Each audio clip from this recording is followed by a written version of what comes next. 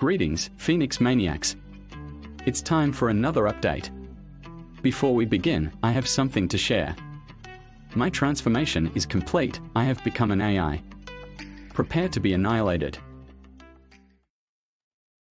No, I'm kidding. I've always been an AI. So let's see what's up with Phoenix. So we finally set a date for the upcoming Phoenix 5.10 release. Hopefully we're going to hit it because we have some COVID awards in the team right now.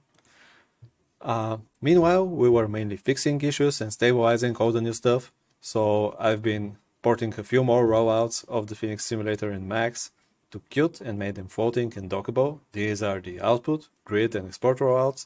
I also multi-threaded the emission from particles in 3ds Max. Unfortunately, only tyFlow and Phoenix particles can take advantage of that, and particle flow and thinking particles have to still run single-threaded.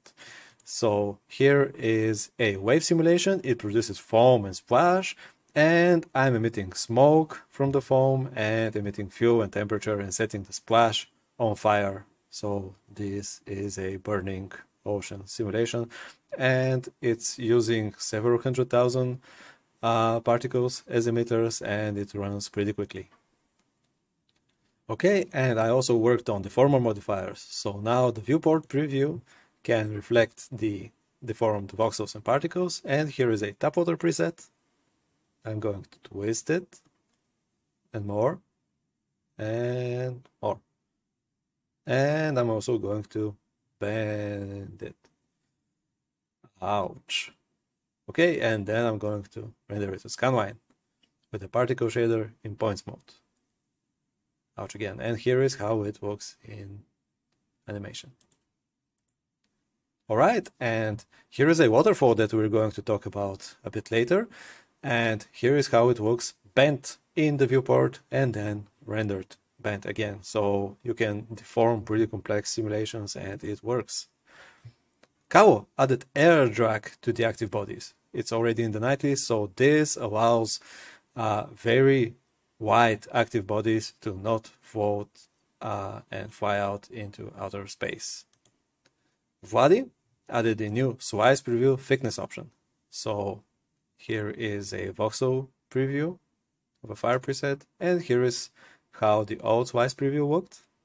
And now here it is with uh, some thickness added. And it also works for the particle preview and the streamwise preview. All right, Zeti added deadline submissions, deadline submission for uh, the Phoenix standalone sim scenes for Max and Maya. I really love those ThinkBox abbreviations, and it works. So also the V-Ray, Corona, and Enscape guys every year they do a hackathon which is named Rendathon and they work on some new crazy ideas together. So uh, this time we did a Phoenix hackathon and we called it a simulathon. So during this one week, uh, we managed to hack up some uh, crazy ideas and as a result, we managed to speed up some parts of the simulation. We have some new things coming to the active bodies and to the sim scenes and to the standalone preview and to the tuners. So stay tuned. Once we manage to clean these up, they are going to uh, come into the nightly builds. Georgi recorded a new tutorial of how to blend Phoenix and V-Ray environment fog. So he is showing two different methods for doing this, and you can see that to the right we have a fire with V-Ray environment fog, and this is much more interesting. Hammer Chen published a two-part blog on chaos.com. So uh, it includes tips for creating realistic simulations, and uh, these are some very useful tips. You gotta make sure to check them out. There's no smoke without Phoenix. Alright, and Hammer also finished the epic waterfall tutorial and now it's complete and here is how the end result looks, looks like. So this has become one of the most liked videos on the Phoenix Facebook group page and it's great. So moving on to Slavi, she published uh, some new pages on Corona and Phoenix compatibility. So now that Corona 9 is bundled with Phoenix. Uh, this would be pretty useful. It includes uh, pages for the render element support and the Corona feature support in Phoenix. Also, uh, she verified that all the template scenes are working correctly. We have a lot of them, and some of them needed fixes, so now everything is published and online. Cory published the new pool example scene, and here is how it looks like.